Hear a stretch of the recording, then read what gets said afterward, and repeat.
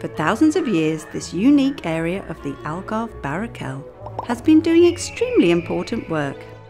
And since 2008, it has been classified as a National Ecological Reserve for the recharge of aquifers. This wide area of land collects rainwater from the surrounding hills, and through the process of infiltration, it refills the Peral Moncarapacho aquifer beneath. Clearing the rocks and vegetation for the installation of thousands of solar panels would profoundly alter an entire water cycle system with devastating consequences.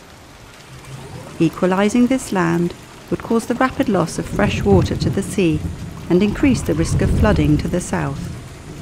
If less water remains here to filter into the aquifer, the groundwater level would lower and boreholes could become dry. Water is vital to human existence here. Choose water. Choose life.